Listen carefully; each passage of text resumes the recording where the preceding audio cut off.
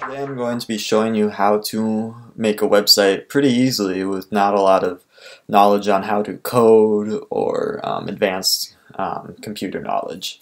So there's a relatively easy yet unknown way to make a website using Google. Google actually has a platform called Google Sites which is part of their Google Suite that allows you to create um, websites and publish them on the web. So we're going to look at doing that today.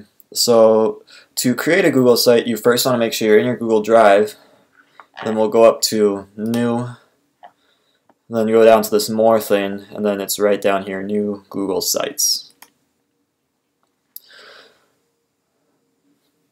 So when you first create a new Google site, this is what it'll look like. You are you see a page where it gives you a spot to enter your page title. You have a spot to enter your site name or add a logo should you choose you notice you have things you can control and add over here as well. So we'll go through all of this, but we're going to start out by naming our site. So I'll pretend like I am making a website for Washburn Tech Tricks. So I'm going to name this uh, name the site Washburn Tech Tricks, and we'll make this our home page. So immediately you'll notice as I'm typing home I have some things I can control. So I can control the type of heading I want. Normally for a page title you're going to want to make sure title is selected. You're going to want to use like heading, subheading, small, normal text in paragraphs that you would type below. Um, but I could change whether I bold or italicize it or both. Can change if what justification I have. I personally like center. And I could also insert a link if I want to another website, but I don't need to do that for right now. So we'll just leave it as home. Um, if I don't like this background image, say I want to upload different one, I can change the image. I can upload from my computer, or I can select an image from Google or search for one um, using a Google um, image link. But let's just say this picture looks nice. Alright. So now that I've got my header and homepage set up, I want to start adding some text and pictures to my homepage, you know. Um, you have a few options to do that. You can either just start dragging text boxes, which you have here, onto your screen, and or clicking and it'll add in, or you can select layouts. And so layouts allow you to um, set up text and photos together, and Google includes some common ones. So you could have a photo with text next to it. You could have two photos. You could have with text underneath, three photos. For you know, they have a bunch of layouts that you can use. So we'll get started with the layout. We'll say up here we'll add an image We'll just use Google image search and search tech. This looks cool. We'll insert it and then we'll put welcome to Washburn Tech Tricks. And again, I this time I can adjust what I want it to be. Right now I have it as a title. I could change it to a heading if I like that better. Um, with normal text, um, welcome to Washburn Tech tricks. Um, and so I'm adding the body there. Um, so I don't need this layout, so we'll get rid of it. Um, one thing to notice with each layout and each text that you enter, there are certain things that you can do. Um, you can duplicate the section, so let's say I want to use something like this again, maybe the same image but different text. I can do duplication by simply clicking this little duplicate section button. Or I can adjust some of the colors. So let's say I want to change the background of this. Right now we have regular, but I could change it to, say, emphasis 2. Um, and so this automatically changes the theme so that it works with Google. So you're able to have a little customization over colors too. Alright, I think this is pretty good for a home page, but now I want to add another page to my Google site. If I'd like to add another page, I'm going to come up over here and go over to Pages. So I currently have my home page, that's the page I'm on, but I'm going to go down here and click New Page. And we'll call this Videos. So this will be the page where I want to put some of the videos for our tech site. So you'll see it automatically updated here, the name of the page, Videos. If you want to change that, you can. Um, it, it'll change it there, but it won't change it here. If you want to change here, you have to click on the three dots and um, rename it. So on this page right here, I would like to insert one of the videos that we've made for Washburn Tech Tricks. If you scroll down on this insert page, past the layouts, you'll notice they have a lot of little features that you can insert. So you could put in collapsible text, a table of contents, an image carousel, a button, a divider. Um, you can also put in Google, like you can embed your Google presentation, so docs, slides, or sheets or forms. You can embed all of that in here too, or a map. Since I want to um, insert a video from Washburn Tech Tricks, I'm going to insert a YouTube. And so from here you can search YouTube. So I'll search for one of our videos. We'll put this one on.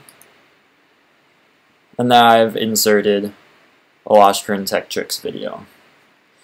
Let's say that there were instructions to go along with uh, the calculator tool. What I might do is I might add one of my Google files that has the instructions with it. So I'm gonna, I think it's actually in a PowerPoint file, so I'm gonna click insert with a drive. And yep, I have a PDF that I can insert. And I've embedded that PDF as well.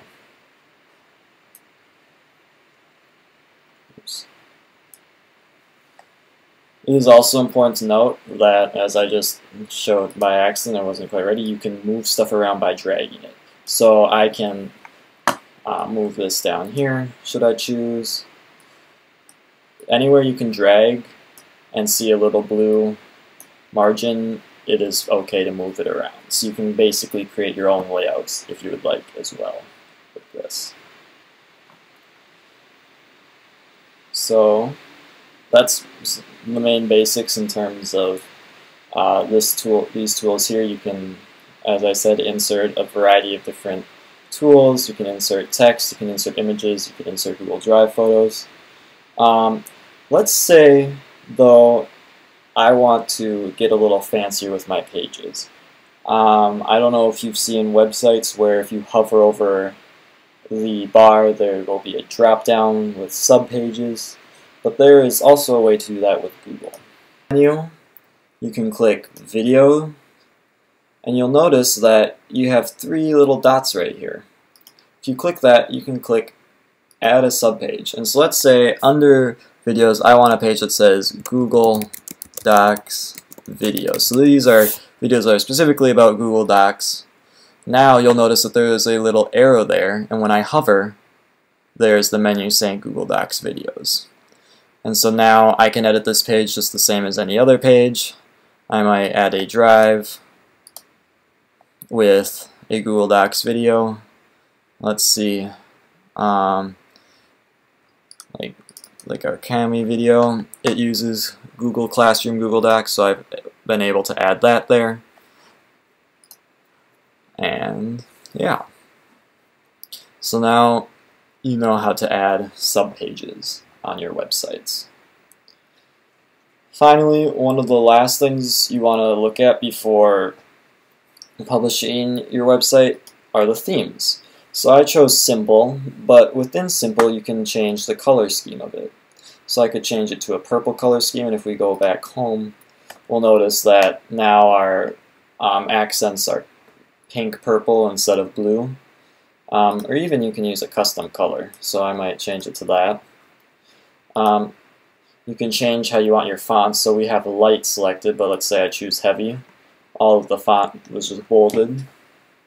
There are also the themes you can pick from. So you could pick Aristotle, this is a pretty cool theme. You could go to impression. You know, there's a lot of different themes you can check out.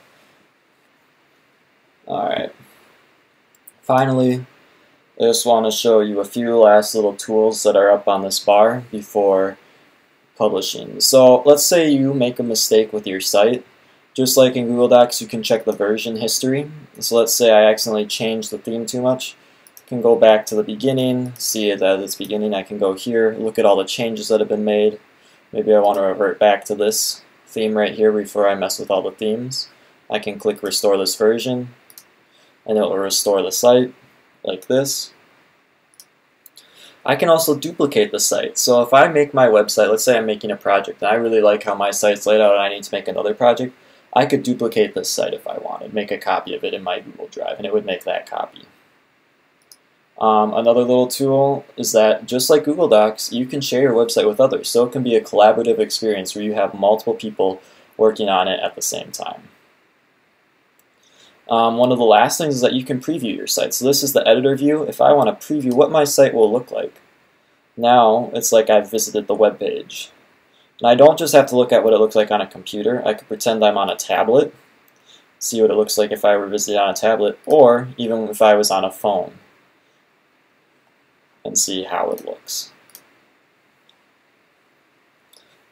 Alright, the last and most important thing is that once you've finished your site, you want to make sure that you publish it. You want to make sure that people can see it.